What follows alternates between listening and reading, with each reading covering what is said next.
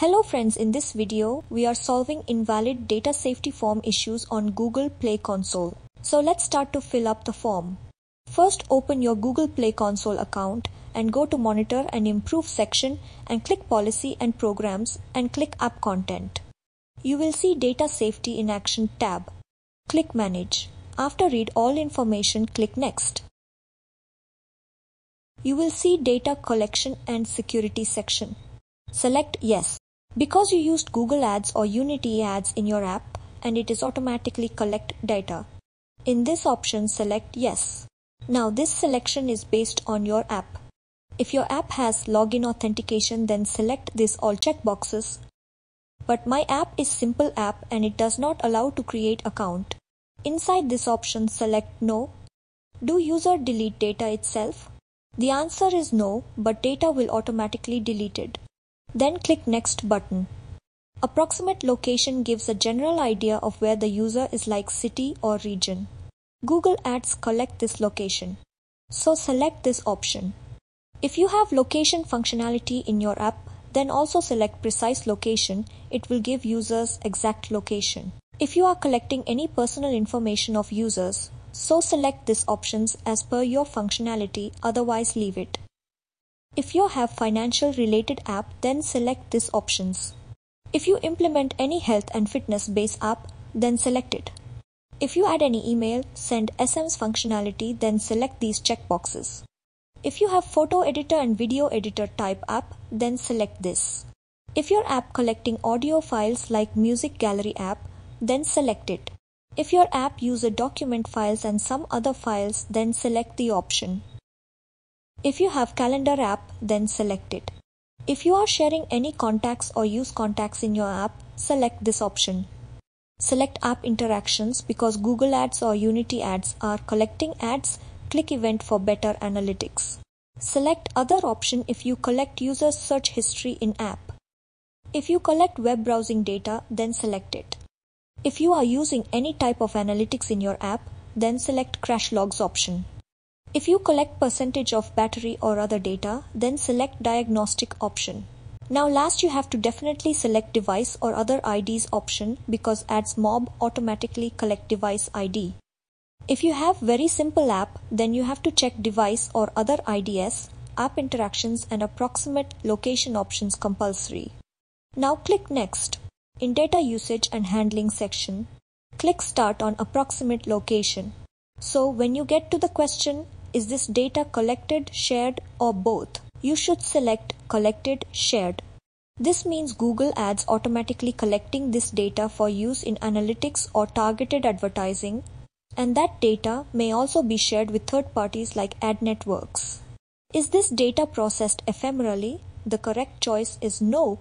This collected data is not processed ephemerally. This means that the data you collect is stored and processed over a longer period of time instead of being temporarily used and then discarded.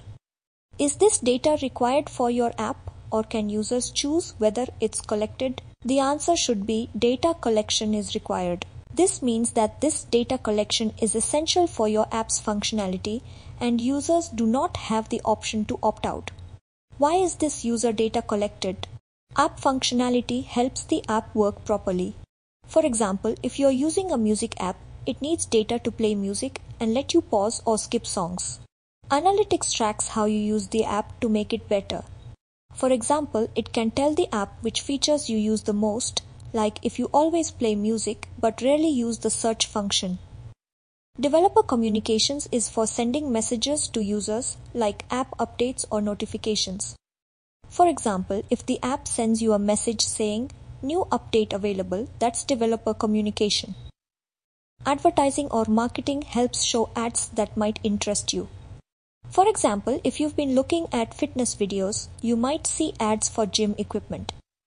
Fraud prevention, security, and compliance keeps the app safe and follows the rules. For example, if someone tries to hack your account, the app uses data to stop them. Personalization makes the app experience unique to you. For example, if you use a shopping app, it will show you clothes you might like based on what you've bought before. Account management helps manage your account and login. For example, when you sign into your email, it stores your login info. Why is this user data shared? First, analytics. Data is shared with analytics tools to understand how users are interacting with the app. For example, if lots of users are having trouble finding a specific feature, developers can improve it based on this data. Second, advertising or marketing. Data is shared with ad networks like Google Ads or Unity Ads to show users ads that match their interests. So, if you've been looking for fitness products, you might see ads for gym equipment.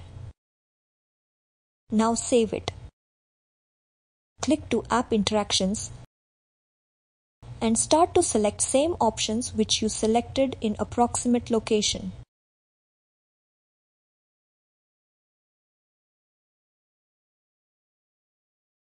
And save it. Now click device or other IDs options. Same steps follow in this section as you selected earlier.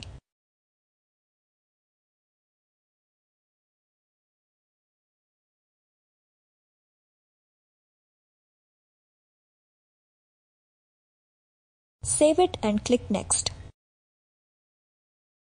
Check this all information because this is the preview of data safety section which will show in Google Play Store. Every users can see this and click Save. That's it for today.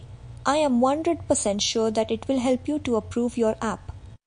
Thank you so much for watching.